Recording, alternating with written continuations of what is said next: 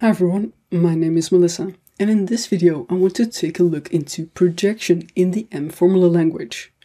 In the documentation you can read that the field access expression is used to select a value from a record, or to project a record or table to one with fewer fields or columns. But what does that mean, and how can you use it? Let's go to the Power Query editor. Prepare the query here and let's take a look at our base record. So the base record contains two fields with the names A and B and the values 1 and 2. The field access expression, a set of square brackets, can be used for projection. And inside those square brackets, you can refer to the field to select from the base record in another set of square brackets. So if we want to project the field B, we append that with a set of square brackets for projection and a set of square brackets to refer to the field name. This syntax is to perform required projection. So what happens when you call a field name that doesn't exist inside the record? In that case, an error is returned. You might conclude that this behavior is equal to when selecting fields from a record using a standard library function. And you're right. Let's take a look at that.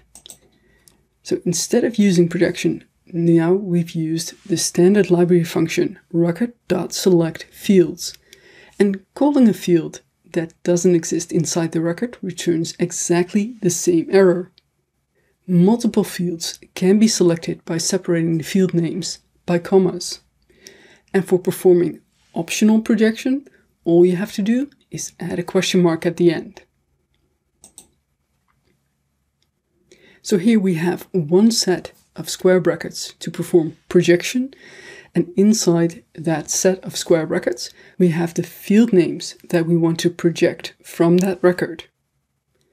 Calling a field name that doesn't exist when appending that question mark at the end returns a null and so resolves the error. The same holds true for a standard library function that allows a missing field type parameter.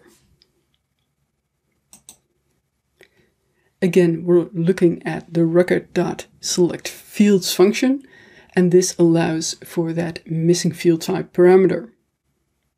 The error is resolved by adding a null instead. When dealing with tables instead of records, the exact same behavior can be expected. Let's take a look at our base table. We can use the field access expression, a set of square brackets, to project fields from this table, and in another set of square brackets refer to the columns to select from that table. So let's project the column B. Inside a set of square brackets, we can refer to the column name in another set of square brackets. This is required projection.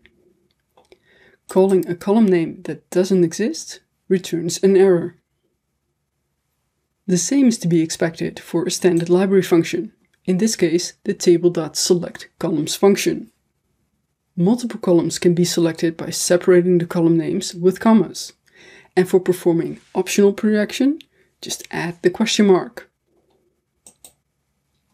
For standard library functions that allow the missing field type parameter, the error is resolved in exactly the same manner.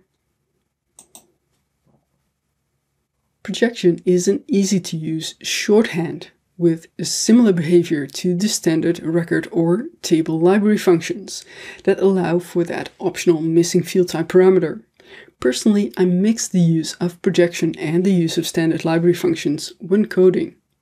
Well, that's it for now. I hope you've enjoyed this one. Thank you so much for watching. All the best. Hey everyone. Thanks for tuning in to Enterprise DNA TV. If you enjoyed the content covered in this particular tutorial, please throw the video a like. It really helps us and we really appreciate it. Also, don't forget to subscribe to the Enterprise DNA TV channel.